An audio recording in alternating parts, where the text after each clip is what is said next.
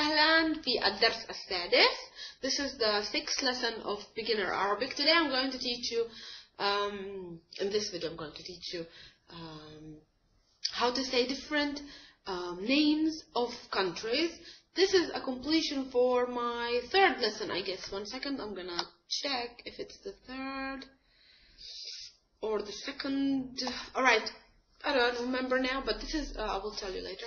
This is a completion for the one of these, or the second, or the third, um, because I taught you uh, how to say I'm from and I'm in, but I promised you to do a video and tell you how to say the names of countries in Arabic. So here you go, how to say uh, names of countries in Arabic.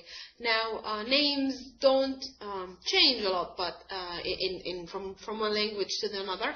But in Arabic, sometimes they do. So let's see how they change.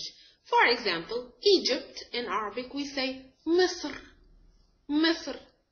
I'm Egyptian. أنا مصري or if I'm a female, I am a female, أنا مصرية.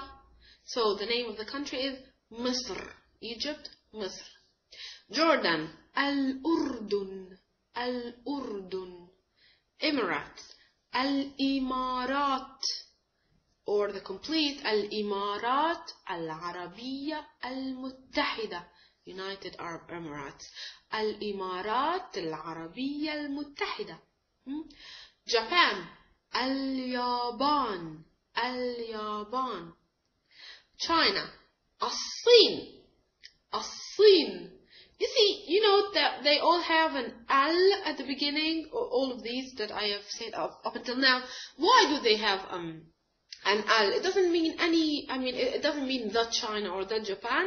Only the name of the, it's just that the name of this, of the country is like this, with the al. So al-Urdun, the Jordan. But it doesn't mean the Jordan. It means Jordan. It's always with the al, with the article, but it doesn't have any meaning of the article. Okay? Um, America. America, we say America, America. And we can say the United States, which are al-Wilayat, المتحدة. الولايات المتحدة. الولايات المتحدة. Okay? And then we have England, uh, the UK, we say Inkiltra, because we don't have a G, a G, we have a K to replace it, so Inkiltra, Inkiltra. And let's go to Europe. Uh, Italy is Italia, with a ta, Italia. Spain, and this is an answer for one of my uh, um, students who uh, who didn't know, who told me that uh, Spain in Hebrew was Farad. It's it's um, it's you're right. It's Farad. Uh, so it changes completely, but in Arabic it's not. It doesn't change. So in Arabic it's Isbania. Only that we don't have a P sound. We replace it with a B. So Isbania. France is Faransa. Faransa. Germany is Almania. Almania. Switzerland is Suisra. Suisra. Sweden is Assuaid. Assuaid. So also here with the article the Sweden. Assuaid or Assuaid. Hmm? And then we have Netherlands. We have Hollanda. Same. Hollanda. And then we have uh, else? Hmm. The rest of them, I think, they have the same names, you know, like Czechoslovakia in Arabic, or a Achik is the abbreviation, and um, mm, what do we have? Is that is that only Europe? um, like uh, Romania is Romania, so the rest of them are uh, the name, the same name, not like France, Faransa, not like uh, um, Germany, which is Almania. All right. Other important states. Um, South Africa, we have the World Cup. South Africa is Janub, South Africa, Africa. So Janub Africa. Let's go to Arab countries. Uh, Yemen, we say Al-Yaman. Al-Yaman. Iraq, we say Al-Iraq with the Ain. Al-Iraq. Al-Iraq.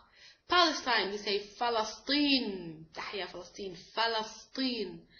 and um, Syria is called Suria in Arabic. Suria. Lebanon is Lubnan. Lubnan. And um, Sudan is As Sudan, right? It's the same. Um, Kuwait is Al Kuwait is a country. Sorry. Oh no, let's go to Saudi Arabia. Um, Saudi, no, no, sorry.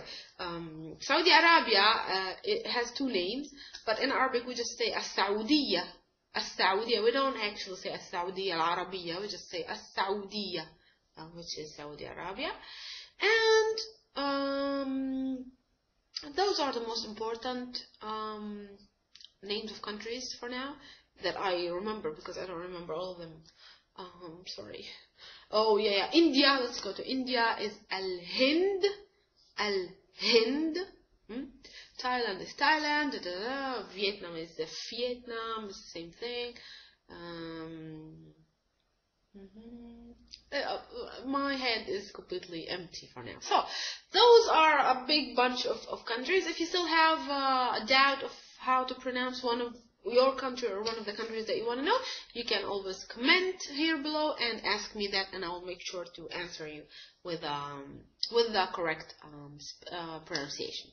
All right, so you can now practice on lesson um, two or three. I don't remember which one it was. أنا من اليابان أنا من السعودية أنا من فلسطين أنا من إسبانيا and and and so on. All right. So I'll see you in the next Arabic lesson. Stay tuned and مع السلامة. Bye.